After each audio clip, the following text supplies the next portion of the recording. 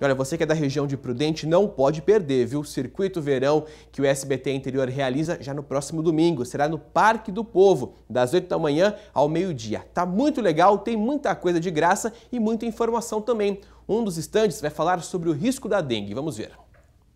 A gente vai falar de saúde pública. O foco é a prevenção contra aí o mosquito Aedes aegypti. Quem está aqui comigo é o professor William Takata. William, o que, que o pessoal vai encontrar no estande lá no Parque do Povo? No Parque do Povo, no, durante o evento que será realizado no próximo dia 4, né, domingo, a gente vai estar tá trabalhando a parte de conscientização sobre os riscos e os problemas relacionados ao mosquito Aedes aegypti.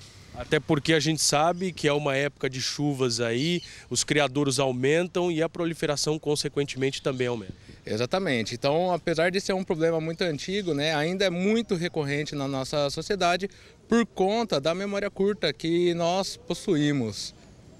Então é bom que o pessoal participe porque vai ter ali uma demonstração bem interessante. Exatamente. Então serão demonstrados vários estágios de desenvolvimento do mosquito, assim como as formas que o mosquito encontra para se proliferar. William, muito obrigado pela sua entrevista. Essa é apenas uma das atrações do Circuito Verão, etapa prudente, que será realizado no próximo domingo, dia 4, no Parque do Povo.